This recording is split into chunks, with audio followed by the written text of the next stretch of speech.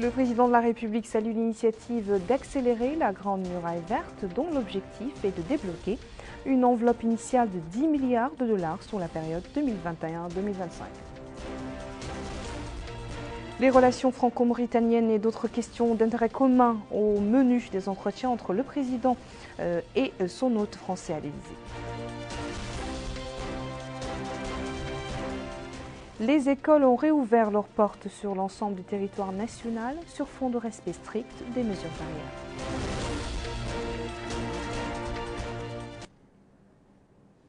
Bonsoir, heureuse de vous retrouver pour ce journal. Le président de la République, Mohamed Cheikh Al-Ghazouani, participait ce matin à Paris, aux côtés de plusieurs chefs euh, d'État, aux travaux de la quatrième édition de One Planet Summit. L'organisation, euh, l'occasion plutôt euh, pour lui de saluer l'annonce de l'initiative de l'accélérateur de la Grande Muraille Verte, dont l'objectif est de débloquer une enveloppe initiale de 10 milliards de dollars sur la période 2021-2025 pour concrétiser dans un cadre coordonné les engagements des partenaires financiers. Je vous laisse suivre le discours intégral du président de la République. Son Excellence Monsieur Emmanuel Macron, président de la République française. Son Altesse royale, le prince de Galles. C'est le président de la Commission de l'Union africaine.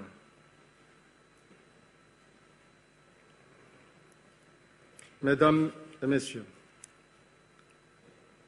permettez-moi tout d'abord d'adresser mes plus sincères remerciements à Son Excellence M. Emmanuel Macron ainsi qu'au gouvernement français pour l'accueil chaleureux et l'hospitalité généreuse qui nous ont été réservés depuis notre arrivée à Paris. Je voudrais également, en mon nom propre et au nom de mes frères chefs d'État des pays membres de l'Agence panafricaine de la Grande Muraille Verte, remercier chaleureusement la France, les Nations Unies et la Banque mondiale pour l'heureuse initiative que constitue l'organisation en marge de One Planet Summit du présent forum dédié à l'investissement pour la Grande Muraille Verte sahélo-saharienne.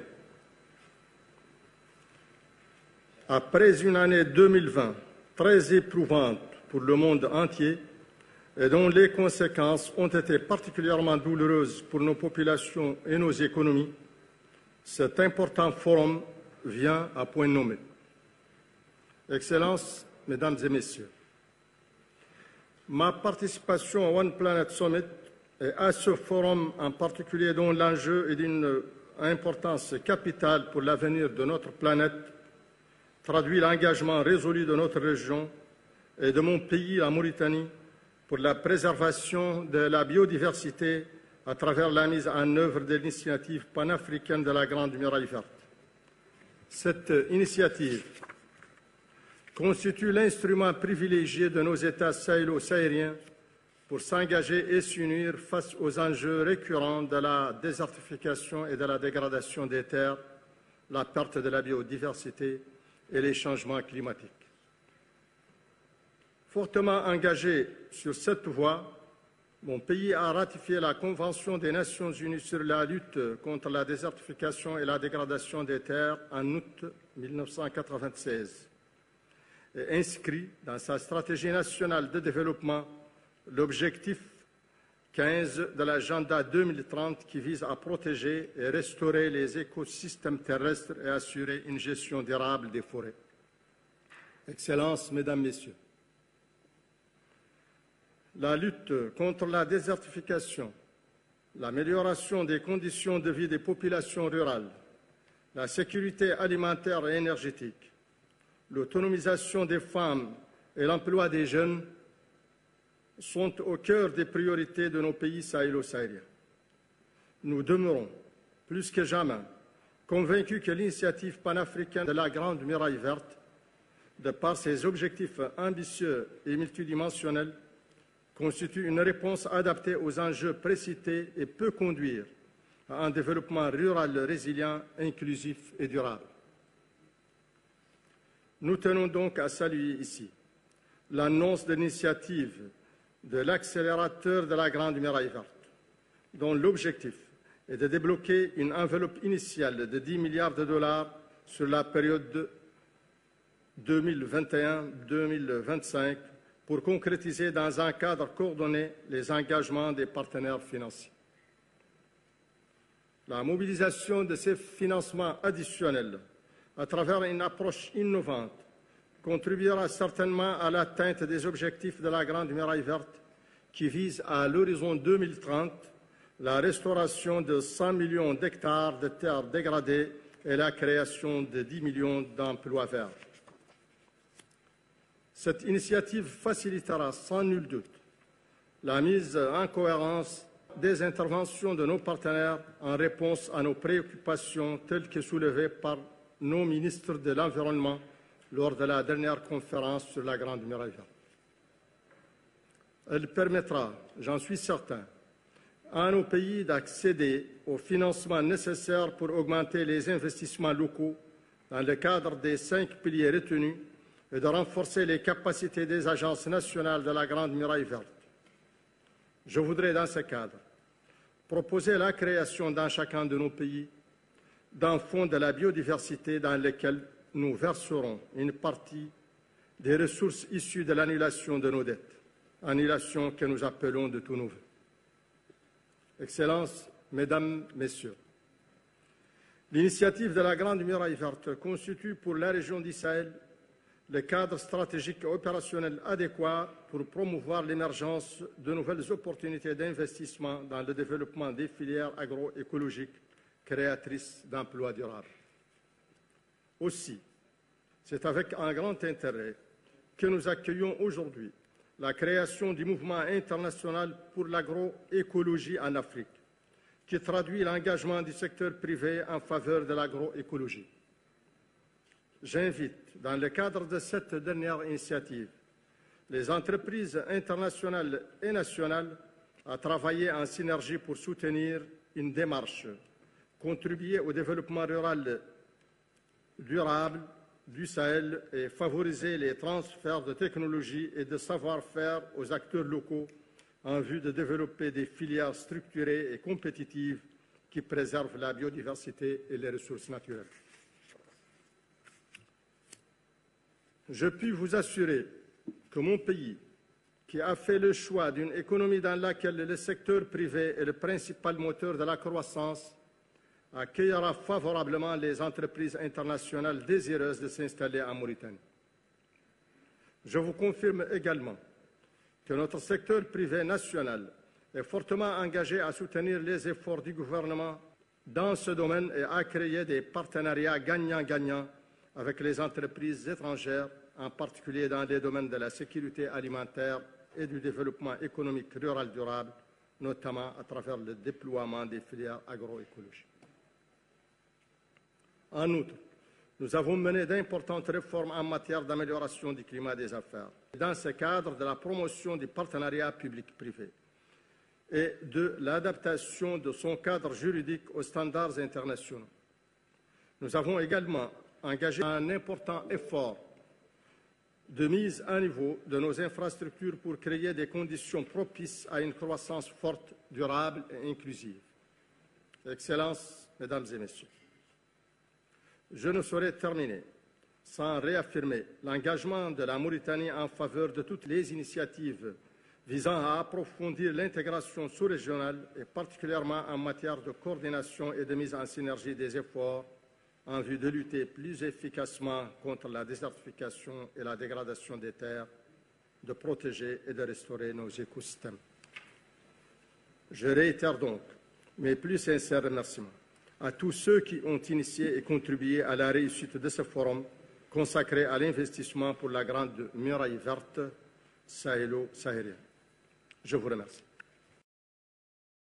Le président français Emmanuel Macron avait lancé en 2017 l'initiative One Planet Summit. Il a donné le coup d'envoi de ce forum qui a pour son ordre du jour euh, quatre thèmes principaux, à savoir la préservation des écosystèmes terrestres et maritimes, l'environnement agricole, la mobilisation des financements et la préservation des espèces et de la santé humaine. Bokar Bailaba.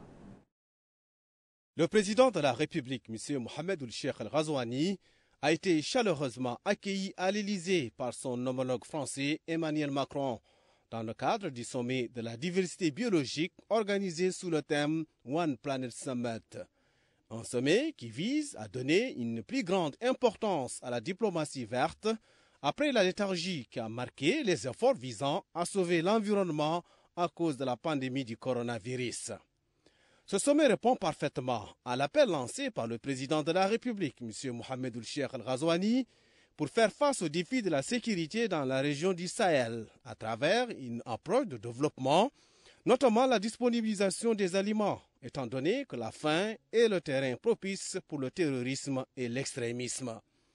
Les personnalités internationales, pour la plupart par le biais de la technique de la visioconférence à cause de la pandémie du coronavirus, se sont relayées à travers leurs interventions pour présenter des initiatives ou des engagements concrets sur les quatre thèmes du sommet préservation des écosystèmes terrestres et maritimes, environnement agricole, mobilisation des financements et préservation des espèces et de la santé humaine.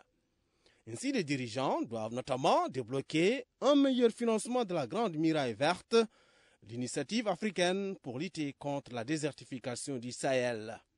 L'initiative de la Grande Muraille verte constitue pour la région Sahel le cadre stratégique et opérationnel et adéquat pour promouvoir l'émergence de nouvelles opportunités d'investissement dans le développement des filières agroécologiques créatrices d'emplois durables. En marge du forum, le président de la République a eu des entretiens à l'Élysée avec son homologue français euh, Emmanuel Macron portant sur les relations de coopération bilatérale et les moyens de les renforcer davantage, ainsi que d'autres questions d'intérêt commun.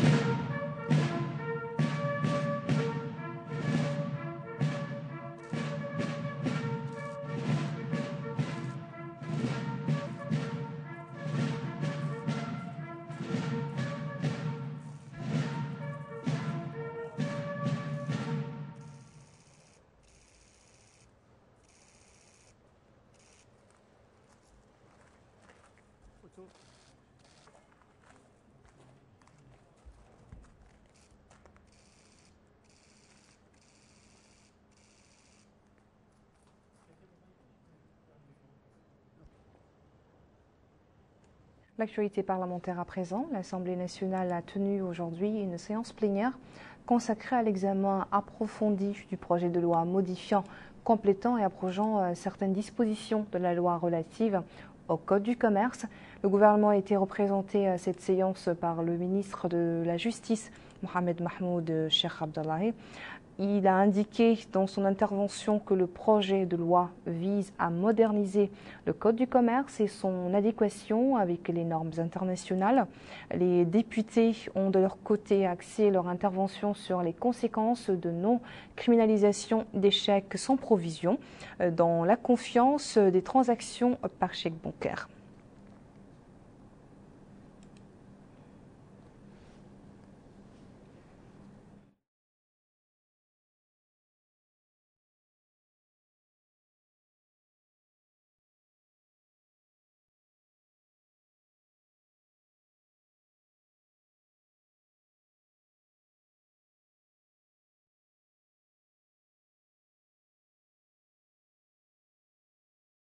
L'Assemblée nationale a par ailleurs adopté aujourd'hui un projet de loi relatif aux associations, euh, fondations et aux réseaux.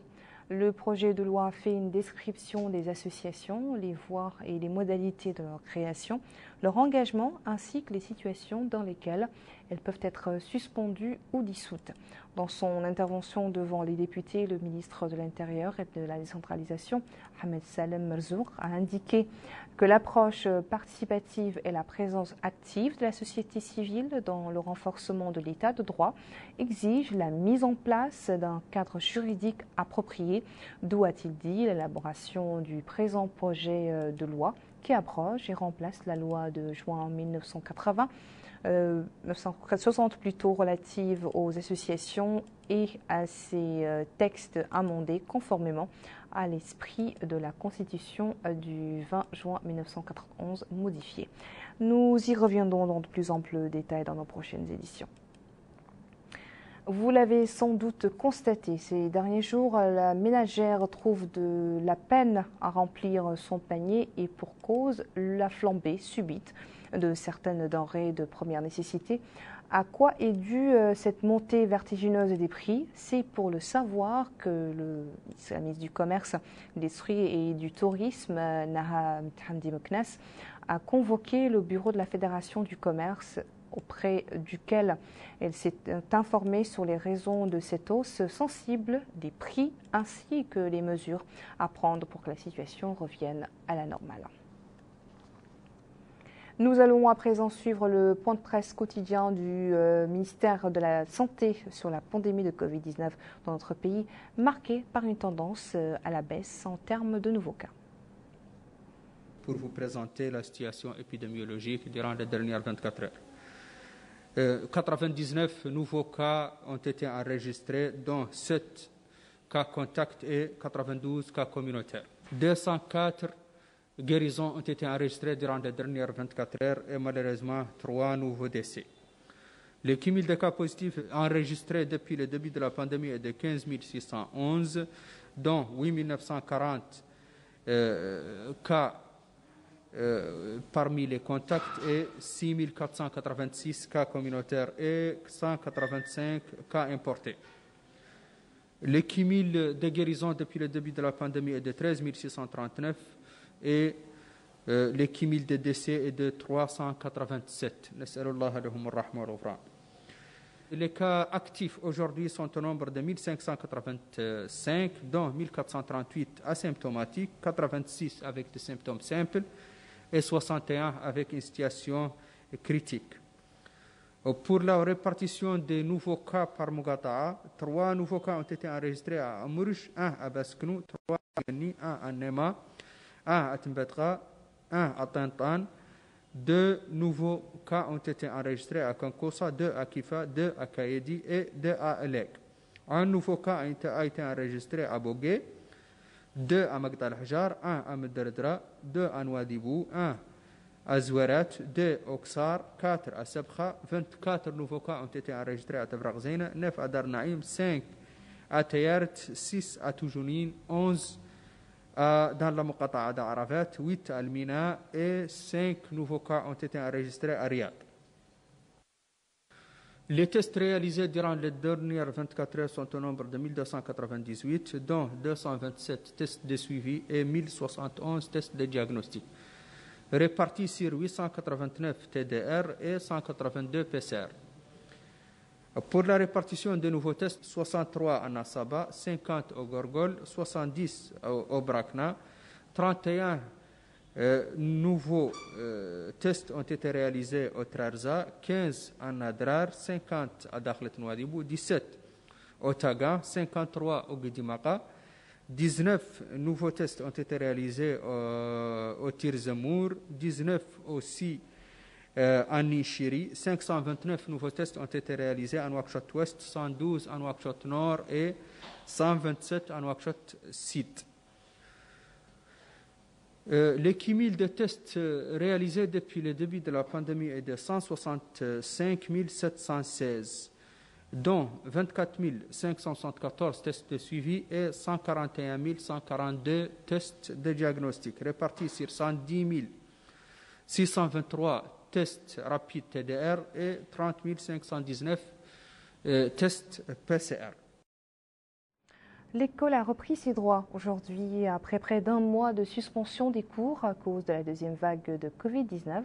Ce matin, le ministre de l'Éducation nationale, de la formation technique et de la réforme, Mohamed Melani a visité euh, des collèges dans les Moukata de Sepra et d'Elmina. Abdullah Damaba. Cette école primaire située au sein de la Moukata de Sepra a réouvert ses portes pour les élèves qui sont inscrits au niveau de cet établissement, ce à la suite de l'arrêt des cours qui a été décrété avec la seconde vague de la COVID-19. Cet établissement a constitué la première étape de ce déplacement du ministre de l'Éducation nationale, la formation technique et de la réforme. Ainsi, il a visité certaines salles de classe pour s'enquérir des conditions de reprise de cette année scolaire. Ensuite, Mohamed Melaini Ouleye s'est rendu à Elmina où il a visité l'établissement d'enseignement secondaire numéro 3. Il a pu s'informer du respect des dispositions qui ont été prises se rapportant au respect des mesures barrières et au port du masque. Le ministre de l'Éducation nationale, de la formation technique et de la réforme a par ailleurs, à partir des locaux de l'Institut pédagogique national, supervisé le départ de ce convoi qui a à son bord 140 000 livres qui vont être distribués aux élèves du primaire, secondaire et des lycées répartis sur toute l'étendue du territoire national. Ces outils pédagogiques qui ont été préparés en fonction du nouveau programme en plus des guides pour les enseignants. Le ministre de l'Éducation nationale, de la formation technique et de la réforme a précisé qu'en compagnie du Wali de Nouakchott-Ouest, du directeur de l'Institut pédagogique national, du secrétaire général du ministère de l'Éducation nationale, U a donné le coup d'envoi de l'envoi des manuels scolaires, se dit-il, sur la base du nouveau programme. Auparavant, précise-t-il, 60 000 ouvrages ont été déjà acheminés. Il a aussi évoqué l'objectif de son déplacement au sein de certains établissements scolaires afin de s'informer de près du respect des mesures barrières. L'affluence enregistrée pour ces reprises a été estimée à environ 80% par les responsables pédagogiques. Mohamed Sariwoul Taleb Dren de Noxot Sud a affirmé qu'ils ont distribué des masques à tous les élèves du cycle fondamental et secondaire. Il a en outre déclaré que le protocole sanitaire qui est mis en place est suivi au niveau des établissements d'enseignement. Dans le cadre de ces reprises, des mesures ont été prises se rapportant au protocole sanitaire afin d'assurer une reprise saine et sauve pour les membres de la famille scolaire. À ce titre, des commissions ont été mises en place pour s'assurer de la propreté des établissements d'enseignement primaire et secondaire, du respect du port du masque et du lavage des mains avec de l'eau et du savon, du suivi de l'état de santé des apprenants, des membres du cercle familial et informer les autorités compétentes en cas de nécessité. Un état de la situation sanitaire au niveau des écoles sera établi tous les deux jours, entre autres. Dans l'optique de la reprise, des moyens de protection ont été mobilisés et mis à la disposition de la famille scolaire. Il s'agit notamment de 750 000 masques, 22 500 bouteilles d'eau de javel et 200 thermomètres. Plusieurs acteurs ont pris part à cette campagne en prélude à la reprise afin d'assurer des conditions d'études saines aux membres de la famille scolaire. Les responsables pédagogiques ont été exhortés par la tutelle à appliquer les mesures préventives dans les écoles et dans les établissements secondaires et supérieurs. Les établissements d'enseignement privé euh, n'ont pas été épargnés euh, par ces mesures. Amina Khlil. La reprise scolaire dans les établissements privés a eu lieu ce lundi 11 janvier, après une suspension soudaine imposée par le Covid-19. Plusieurs mesures préventives ont marqué cette reprise scolaire. Les responsables de l'enseignement privé, qui selon les concernés a beaucoup souffert des conséquences de suspensions répétitives, assurent que les mesures de prévention y sont prises très au sérieux. Cette reprise scolaire qui intervient après un mois et demi de suspension est pour nous l'occasion de prendre toutes les mesures nécessaires pour assurer une reprise en toute sérénité. Nous avons tout d'abord commencé par imposer le port des masques. Ensuite, le respect dans la mesure du possible de la distance entre les individus. La désinfection continue des lieux. Et enfin, la sensibilisation à la santé en milieu scolaire. Les acteurs du domaine de l'éducation privée assurent qu'il a reçu des coups qui l'ont affecté et qui l'ont mis dans un état critique. La suspension soudaine des cours appelait à trouver des solutions dans les plus brefs délais. La seule alternative dans la conjoncture actuelle est l'enseignement à distance. Nous savons que les progressions des programmes scolaires s'y feront convenablement et que les élèves les plus assidus ne remarqueront pas la différence, ce qui n'est malheureusement pas le cas ni pour tous les élèves, ni pour tous les parents d'élèves. Mais de toute façon, c'est une alternative qui éviterait l'arrêt total de l'apprentissage de la part des élèves. Un milliard et demi d'aides gouvernementales au secteur d'enseignement privé vient alléger un peu les conséquences de la pandémie sur les écoles privées. Cet appui s'étalera sur tous les établissements scolaires qui ont enseigné pendant l'année scolaire 2019-2020 et sera distribué selon des critères déterminés par le ministère de tutelle. Parmi ces critères, le fait que l'établissement scolaire soit opérationnel en 2019-2020 quand l'empêchement est survenu, que l'établissement figure sur la base de données du ministère tutelle et qu'ils aient été visités par des inspecteurs ou par des émissaires du ministère ou alors opérés à travers les rapports annuels qu'il nous envoie à chaque rentrée scolaire et à chaque clôture. Il y a également un critère important qui concerne le loyer. Nous avons réparti le pays en plusieurs zones. Ces zones diffèrent selon le loyer et selon le nombre d'élèves par bâtiment. Entre l'impact du corona et l'appui du gouvernement, l'enseignement privé reste une composante clé de l'ensemble du système éducatif national et une source de revenus importante pour des milliers de citoyens. De Nokshot, nous allons nous rendre à l'intérieur du pays pour voir là aussi euh, l'atmosphère euh, qui a imprégné cette première journée des classes, placée sous le sceau de la vigilance et du respect des mesures barrières. Mohamed Ratat nous fait l'écho de la réouverture des classes dans les villes d'Atal, Kahidi, Kifa et Nema.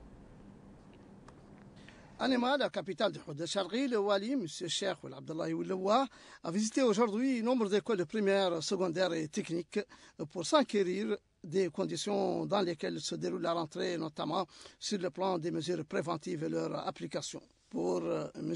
Sess Amadou Diop, directeur régional de l'éducation. Nous avons, dit-il, effectué ce matin une visite de terrain en compagnie du Wali et des autorités administratives et sécuritaires qui nous a menés dans différents établissements scolaires pour constater de visu la reprise des cours dans les meilleures conditions avec un respect strict des mesures préventives et des gestes barrières, tels le port du masque, la distanciation sociale. Depuis deux, trois jours déjà, le HAKEM, les inspections éducatives, les équipes du Croissant Rouge mauritanien, les organisations de la société civile, les fédérations des parents d'élèves ont désinfecté les écoles, tout comme le ministère de l'Éducation a envoyé suffisamment de matériel de protection, comme les masques, environ 60 000, du savon et de l'eau de javel, et même des équipements pour relever la température pour que la reprise se déroule dans les meilleures conditions.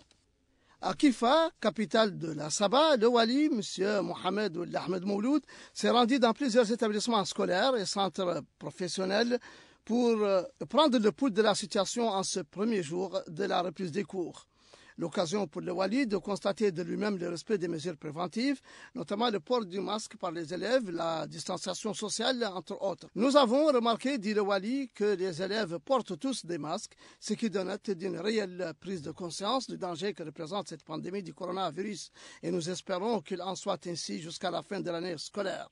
Surtout que nous traversons une période de froid à laquelle les parents des élèves doivent prendre les mesures nécessaires pour protéger leurs enfants contre le froid. La reprise des cours se déroule dans de bonnes conditions et nous appelons le cadre enseignant, les fédérations des parents des élèves et tout un chacun à respecter et à rester vigilant quant au respect des mesures préventives. Au Gorgol et précisément à Kayedi, le Wali, M.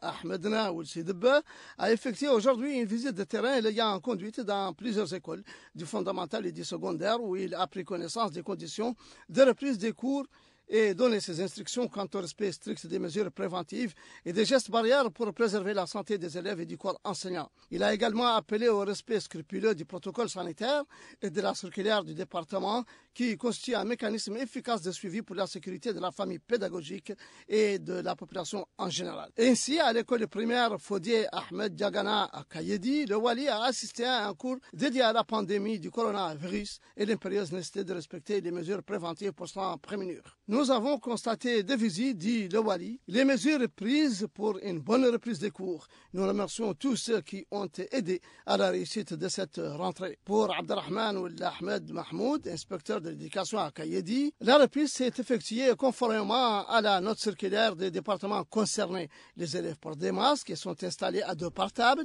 et tous les enseignants sont obligés de porter des masques dans le cadre du respect des mesures préventives. Enfin, à Attar, le Wali de l'Adrar, M.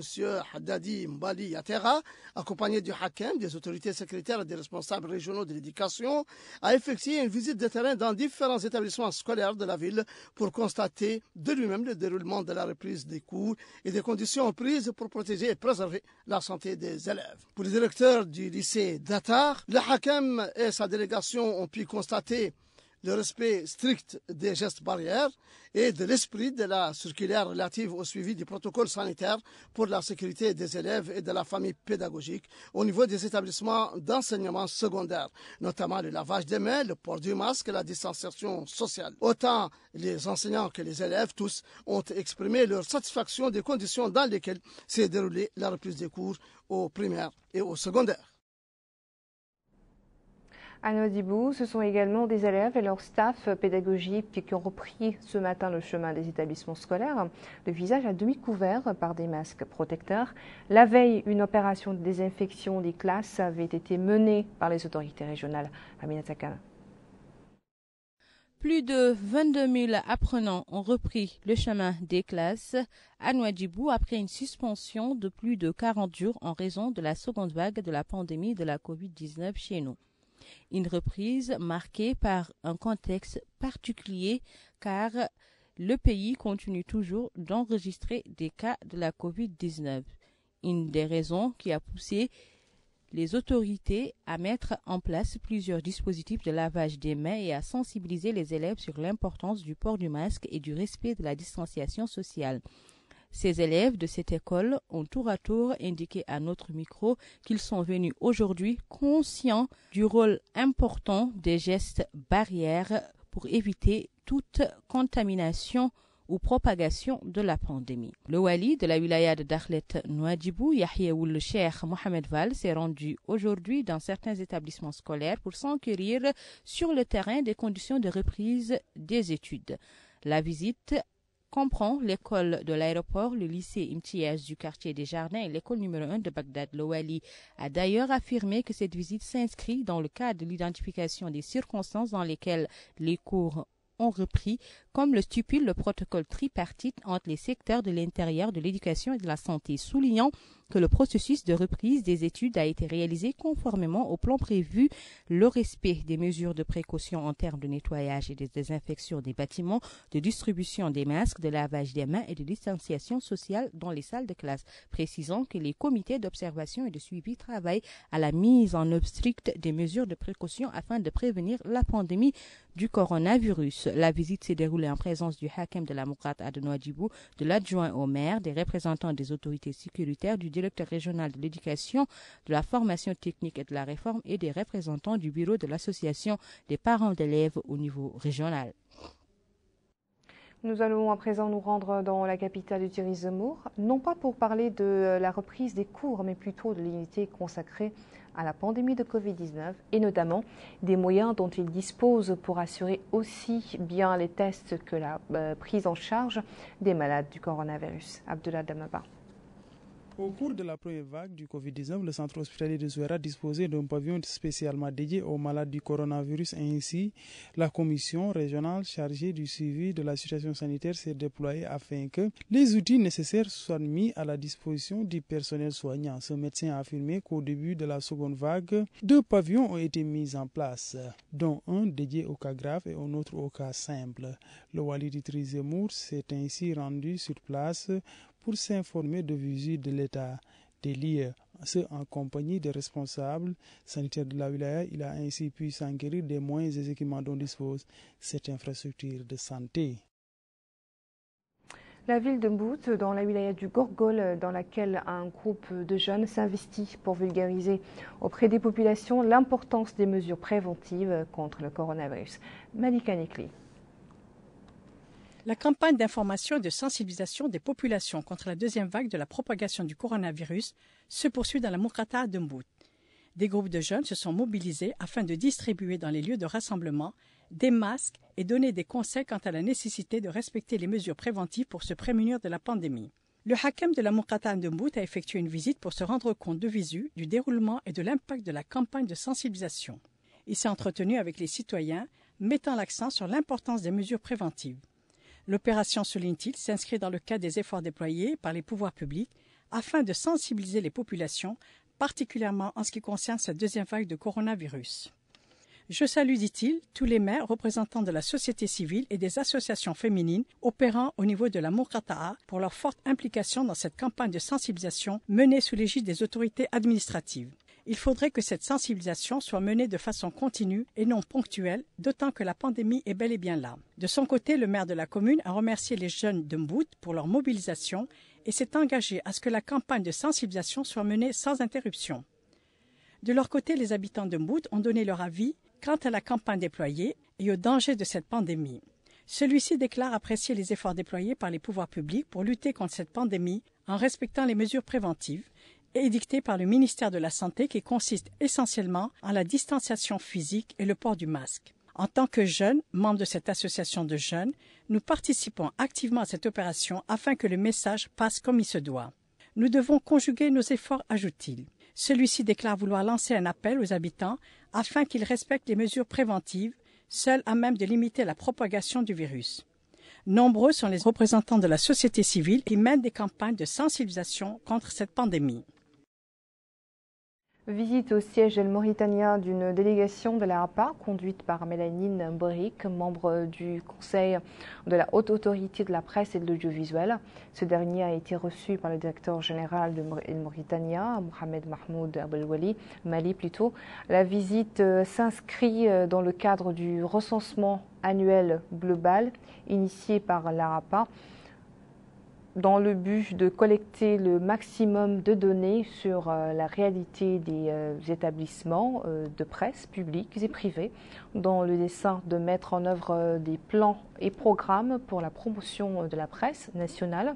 La délégation a visité les directions départements, services et divisions au sein de l'établissement et écouté leurs différents responsables les explications relatives aux équipements et logistiques techniques dont dispose l'institution.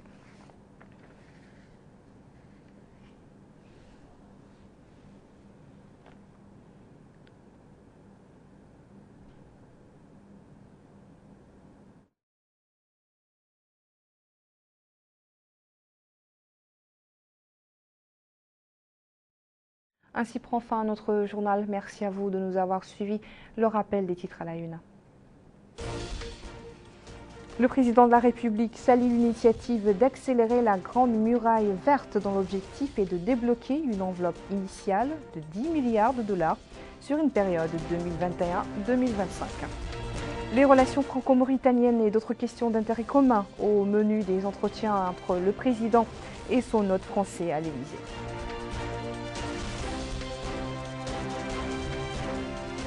Les écoles ont réouvert leurs portes sur l'ensemble du territoire national sur fond de respect strict des mesures barrières. Restez avec nous, j'aurai le plaisir de vous présenter dans quelques instants votre émission Zoom sur. Bonne soirée.